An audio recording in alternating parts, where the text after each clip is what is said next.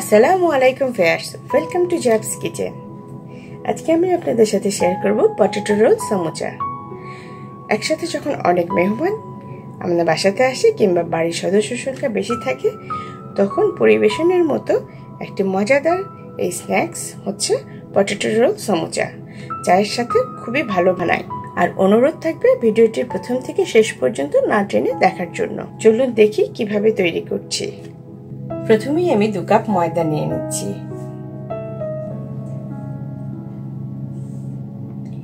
দিয়ে দিচ্ছি পরিমাণ মতো লবণ। আর দিচ্ছি চার টেবিল চামচ সয়াবিন তেল। কালো জিরা দিচ্ছি হাফ চা চামচ। এখন সবগুলো উপকরণ খুব ভালোভাবে ডলে ডলে মিশিয়ে নিচ্ছি।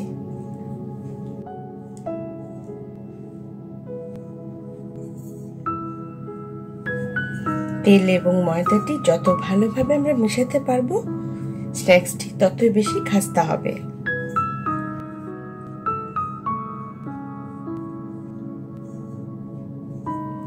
ময়দা এবং তেলটি মিশিয়ে নেওয়া হয়ে গিয়েছে। যখন এই যে এইরকম পর্যায়ে আসবে, তখন বুঝতে হবে যে ময়দার এবং তেলের পরিমাপটি সেটি ঠিক আছে। আমি এখানে অল্প অল্প করে পানি মেশাবো, কেননা একবারে খুব বেশি পানি ব্যবহার করা যাবে না।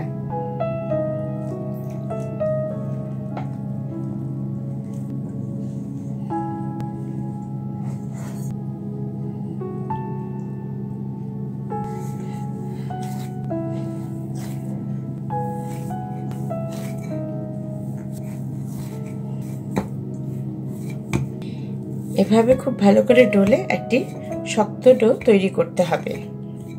আর এই ডোটি আমি আধা ঘণ্টার জন্য রেস্টে রেখে দিচ্ছি।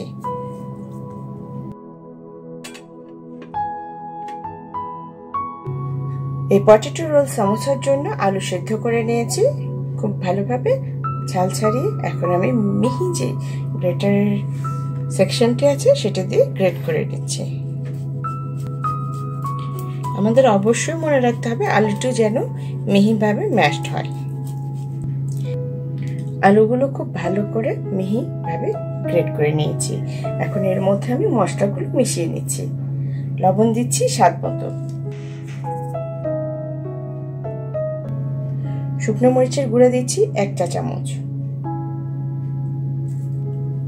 হলুদ গুঁড়া দিচ্ছি হাফ চা চামচ। ধনিয়া গুঁড়া দিচ্ছি এক চা চামচ। গরম মশলার গুঁড়া দিচ্ছি এক চা চামচ। কাঁচামরিচ কুচি দিচ্ছি একটি। এই আলুর পুরটি যখন আমরা সামোচার সাথে ব্যবহার করব, তখন অনেক সময় খুলে পুরো তেলটা একদম মেখে যায়। আর সেই জন্য এখানে আমি ব্যবহার করছি কর্ন স্টাচ, বাইন্ডার হিসেবে। দু টেবিল চামচ দিচ্ছি কর্ন স্টাচ। আমরা এখানে কর্ন স্টাচের পরিবর্তে চালের গুঁড়ো ব্যবহার করতে পারি। আর দিয়ে দিচ্ছি রাঁধুনি স্বাদে মিশালি যে মশলার প্যাকেটটি আছে, সেটা থেকে এক প্যাকেট মশলা। এখন সবগুলো উপকরণ খুব ভালোভাবে মিশিয়ে নিচ্ছি আলুর সাথে।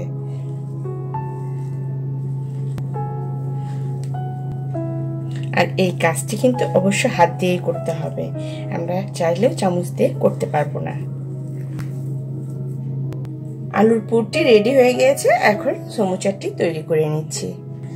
আধা ঘণ্টা রেস্টে থাকার পরে ডোটির এই অবস্থা হয়েছে। আমি দুভাগে ভাগ করে নিচ্ছি।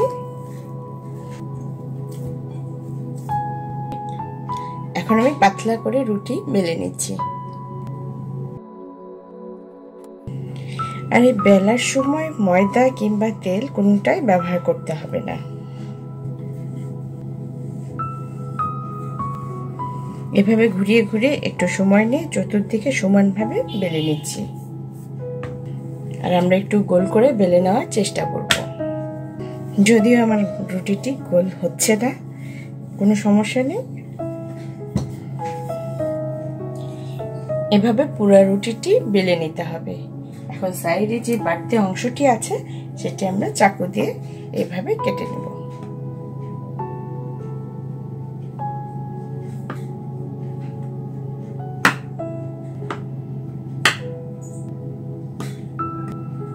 এতে করে সব দিকে একদম সমান রাউন্ড হবে।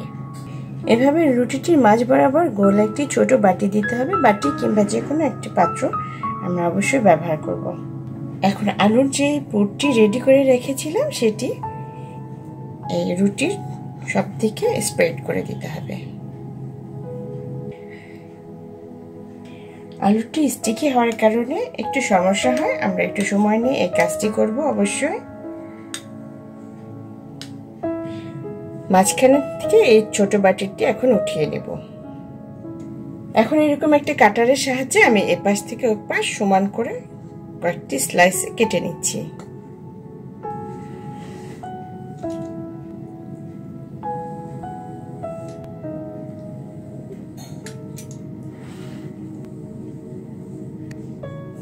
মাঝে আমি সামান্য কিছু পানি এভাবে লাগিয়ে নেব।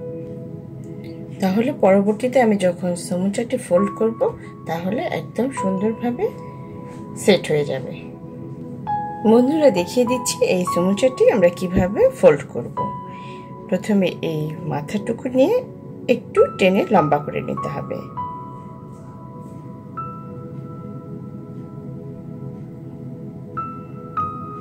তারপর এভাবে রোল করে সেট করে নিতে হবে।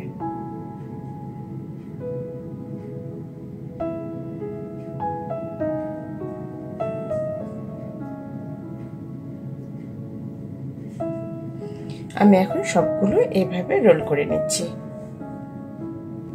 এভাবে সবগুলো রোল আমি তৈরি করে নিয়েছি, এখন ভেজে নিচ্ছি।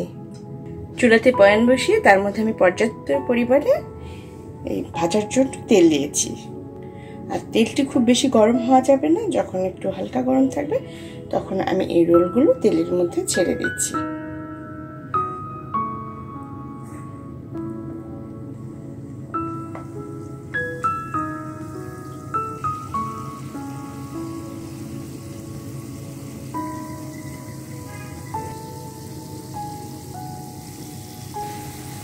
পিঠ যখন একটু ভাজা হয়ে যাবে, তখন আমি উল্টিয়ে দিচ্ছি।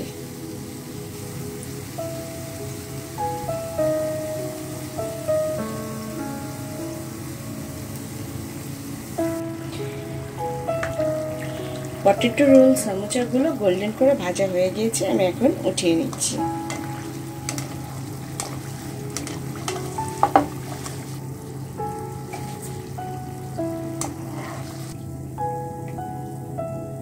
বন্ধুরা, তৈরি হয়ে গেল মজাদার এই স্ন্যাক্স আইটেমটি আশা করছি আপনারা দেখেছেন।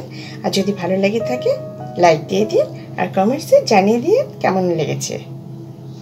পাশে থাকে বেল আইকনটি বাঁচাতে ভুলবেন না, কেননা এতে করে আপনারা সহজে নোটিফিকেশনটি পেয়ে যাবেন। আর যেনারা আমার চ্যানেলটি সাবস্ক্রাইব এখনও করেননি, আশা করছি চ্যানেলটি সাবস্ক্রাইব করে আমার পাশে থাকবেন। আর যেনারা অলরেডি করে ফেলেছেন, তাদেরকে অসংখ্য ধন্যবাদ। আল্লাহ সবাইকে ভালো রাখুক সুস্থ রাখুক। আল্লাহ হাফেজ।